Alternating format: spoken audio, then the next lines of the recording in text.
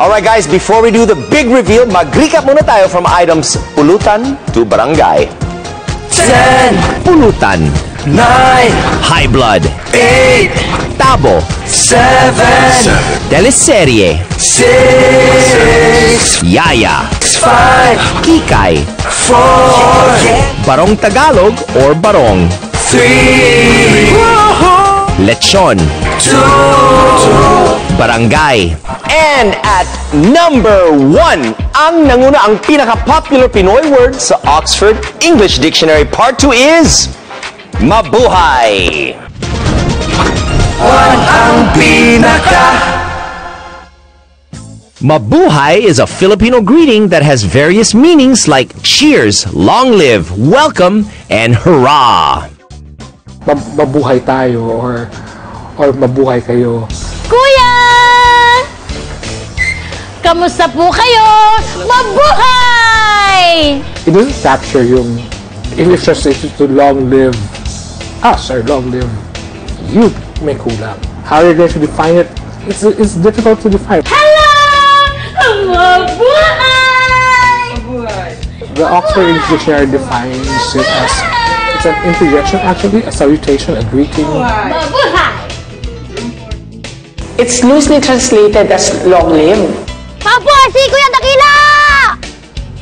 Mabuhay! So, pero sa atin, sa Philippine context, it's welcome, hello, how are you, you know? Are you guys okay? Mabuhay! Isa rin itong pagbati. Sa pag-start nating mabuhay, ay, bukas ang buhay. Mabuhay, lumago ka bilang tao. Mabuhay, welcome to the Philippines. Yun ang ating pagbati. Now, curiously, even though it's one of the first Pinoy words that we teach non-Pinoys, not many Pinoys actually say it in regular conversations. Bakit kaya?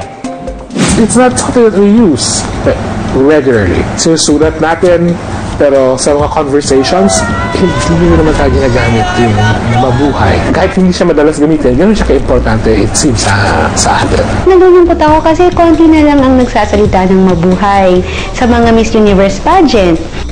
Hi! I'm May Bautista with a viral of 24, 54, 84 from Cubao, Ilalim, Philippines! Mabuhay!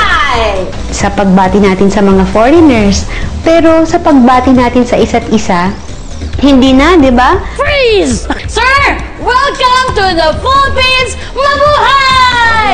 Yay! Jump!